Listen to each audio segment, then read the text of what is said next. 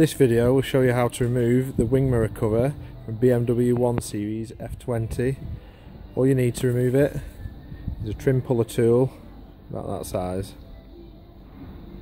First of all, remove the glass. If you adjust the mirror out, get your trim puller tool on the edge and then the glass will pop out.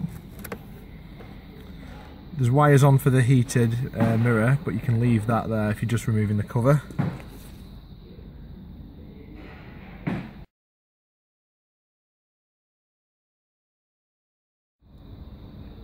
Using the clips shown in the last diagram, pop those out and work your way along the mirror and the cap will slide straight off.